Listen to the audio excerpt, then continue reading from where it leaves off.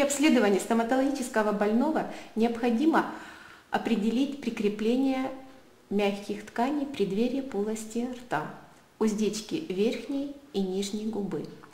Для определения прикрепления уздечки верхней губы указательным и большим пальчиком отводим верхнюю губу кверху и наблюдаем, как располагается уздечка.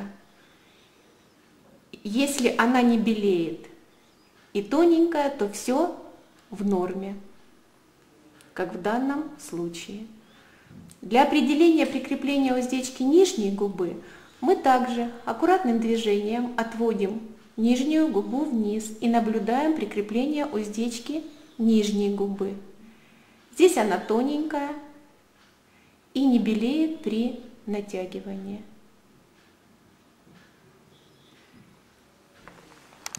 Прикрепление уздечки языка также имеет важное значение при обследовании стоматологического больного.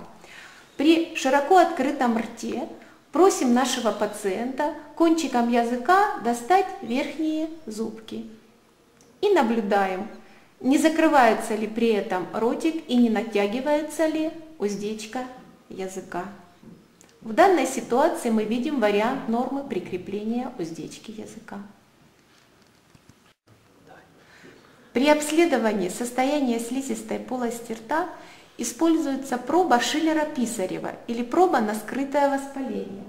Она проводится с помощью раствора люголя, который наносится на слизистую обследуемого участка с помощью ватного тампончика.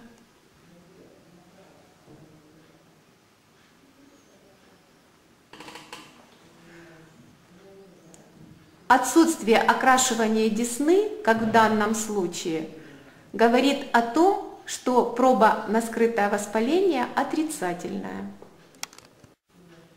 Для определения степени воспаления в десне используют индекс ПМА. Это папиллярно-маргинально-альвеолярный индекс.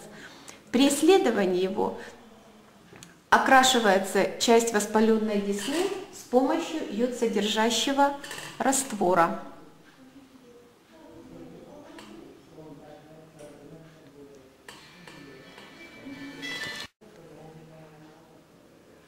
При окрашивании сосочка в коричневый цвет индекс определяется единицей. При окрашивании сосочка и десневого края оценивается в 2 балла. Если же окрашивается и альвеолярный край десны, ставим 3 балла.